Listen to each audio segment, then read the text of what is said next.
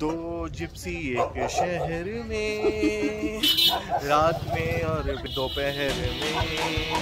बताइए कहाँ जा रही है दोनों जिप्सी। बताइए